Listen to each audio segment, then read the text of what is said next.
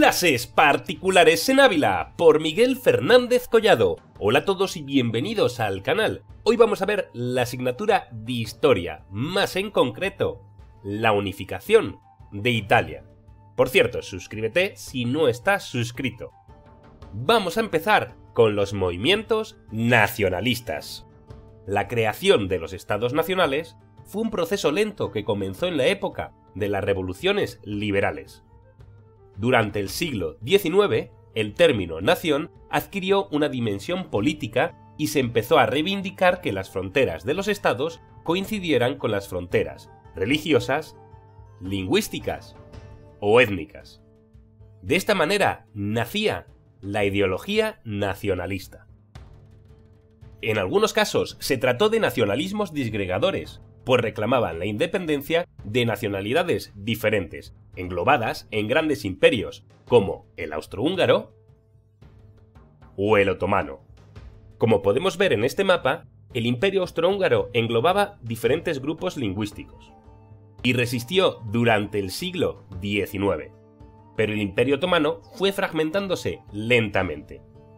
Primero se independizó Grecia en 1829 y a esta le siguieron sucesivamente Serbia, Rumanía, Montenegro, Bulgaria y Albania.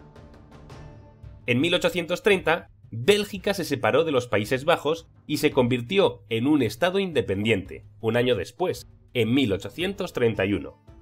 Otros movimientos nacionalistas fueron unificadores y dieron lugar a la integración de poblaciones divididas. Este fue el caso de Italia y Alemania.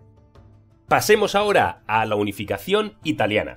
La península itálica estaba dividida en diversos estados, algunos de ellos bajo la dominación extranjera. Por ejemplo, el reino lombardo-véneto estaba bajo el dominio austriaco.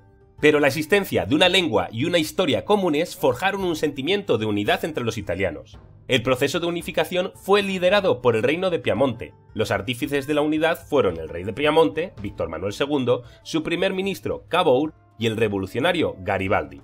La unificación se inició en 1859 y atravesó varias fases. 1859. Cabour logró que Francia apoyara las demandas italianas frente a los austriacos, a cambio de que Piamonte le cediera Saboya y Niza.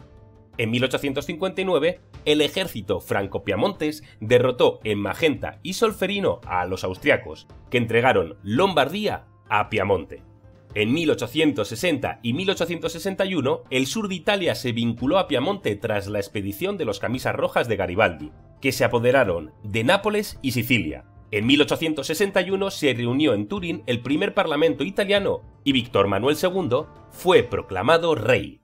Vayamos ahora a 1866. Piamonte apoyó a Prusia en su guerra contra Austria y a cambio se anexionó Venecia. Y por último, el año 1870. Los piamonteses aprovecharon la retirada de los franceses por la guerra franco-prusiana para ocupar Roma. El Papa no reconoció esta ocupación, pero la ciudad se convirtió en la capital de Italia. Espero que os haya gustado el tema, ya sabéis que por aquí os dejo una lista de reproducción que os puede interesar, suscríbete y sígueme en mis redes sociales. Nos vemos mañana, chao chao, bacalao.